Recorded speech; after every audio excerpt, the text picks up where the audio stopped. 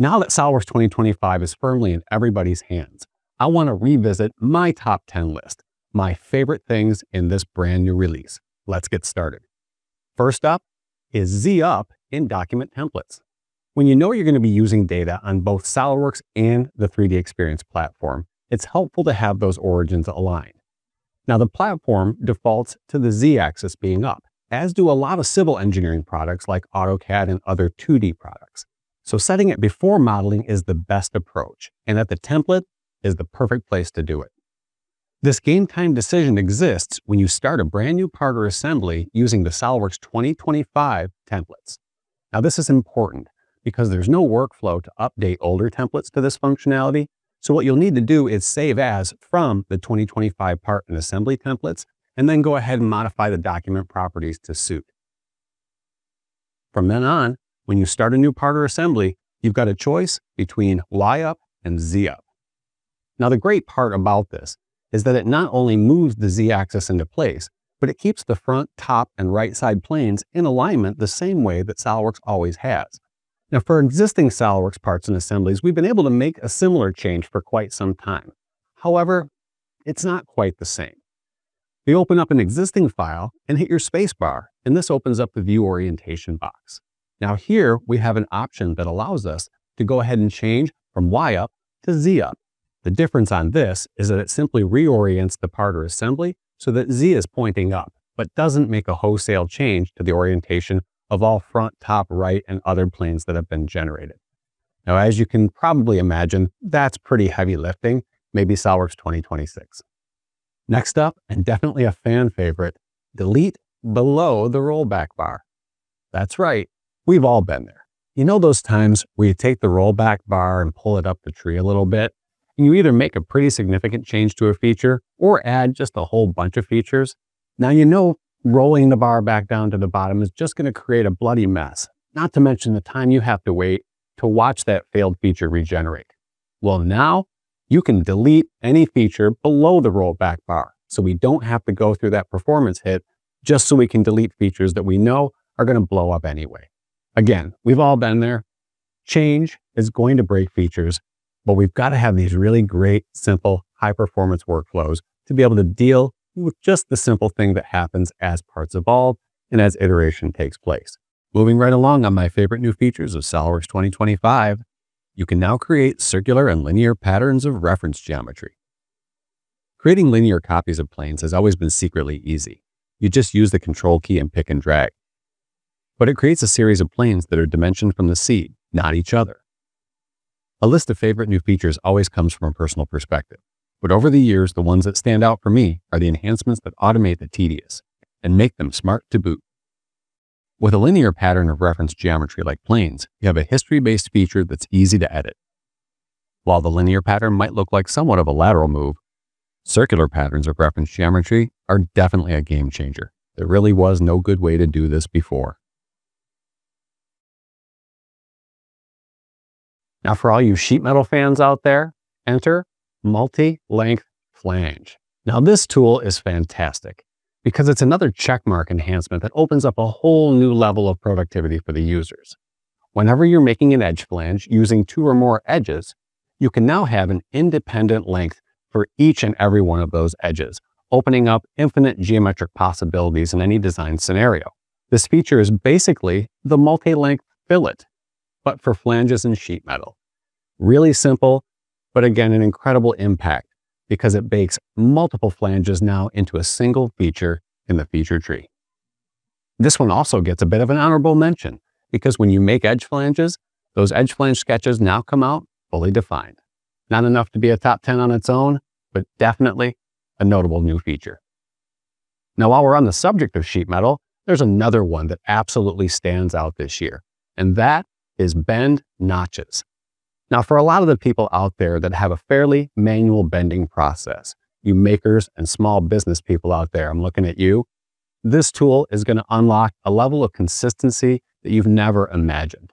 All you do is hit flatten and the handy bend notches tool appears. Now either select on screen or hit the handy dandy collect all bends button. Now there's three options for shape depending on the need in your process. Now just hit OK and there you go. And what's great here is that this will enable you to align your bends on a manual press brake much more consistently than ever before. Now, because the notches happen by pressing the flatten button, it doesn't actually create a history-based feature in the tree. So you're only going to see these notches in the flat pattern, which is okay because for the manufacturing process, it will be there, especially when you export your code to a 2D cutter. But a wonderful tool for adding that extra level of consistency at the production point. This next one is a small addition that adds a great workflow. I bring you document groups. If you find yourself regularly working on many files of a project, or it's simply quitting time for the day and you're ready to log off and want to pick up where you left off tomorrow, document groups are what you've been looking for. You can make a new document group using any combination of the files you currently have open. And then open them back up again with a single click during your next session. If you begin to have several document groups stacking up, you can give them a strategic name so that you can easily pick them from the list later. After 30 years in the game, it's not just CAD functionality that improves your workflow, and this is one of those tools. Yet another new checkmark option making a big impact is the continuous edge blend in the variable radius fillet. Whenever you create complex geometry, whether it's a consumer good or medical device, there's always going to be complex filleting and fillets that run into fillets. When you're making a variable radius fillet, you can now slide all the way down to the fillet options and turn on continuous edge blend. You see the difference it makes on this part right here. Filleting is one of those things that's always the final touch on a very complex and organic shape. And with this extra option, we can now control even the most complex fillet situations to have the right output for our production methods and for the way that we want this part to look in a visually lit environment. These are the types of enhancements that provide the largest return, requiring the user to learn absolutely nothing except to be aware of its existence, but now have a simple yet very powerful tool added to their arsenal. A great new addition to assemblies, Copy with Mates now supports advanced and mechanical mates. If you do a lot of repetitive assembly or use a significant amount of fasteners in your designs and you aren't using Copy with Mates, you're missing out. For those of you who don't know about this awesome time saver, Copy with Mates now supports advanced and mechanical mates too, opening up a whole new level of productivity when creating assemblies. When copying a subassembly, of course the internal mates go with it, but anything external, including an angular limit mate, is now available. Leveraging existing work to quickly move forward is a hallmark of a productivity feature like this. Next is automatic repair of dangling sketch relations and dimensions. When dimensions have an issue, there's always been a way to reattach a dangling dimension. Sometimes it might even seem easier to just simply delete and redo the dimension, but I highly, highly recommend against that practice. You see, each dimension has an email-like address to it.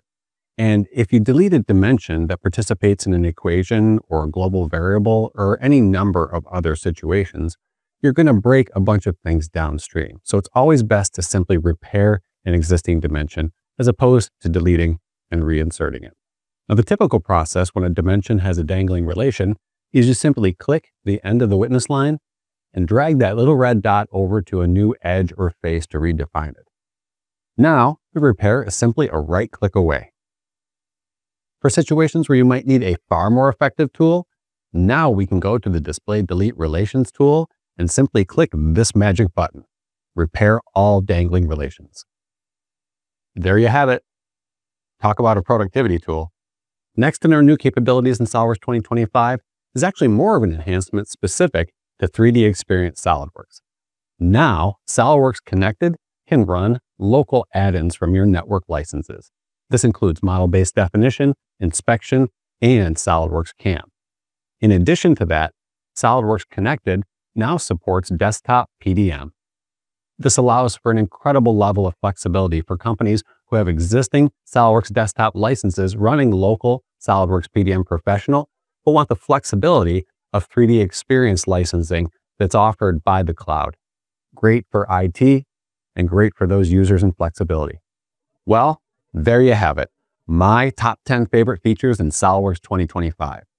Now, favorites lists usually come from a personal perspective. So if there's something you thought should have been on that list, comment below Tell me why it's so important to you, and maybe I'll make a video about it.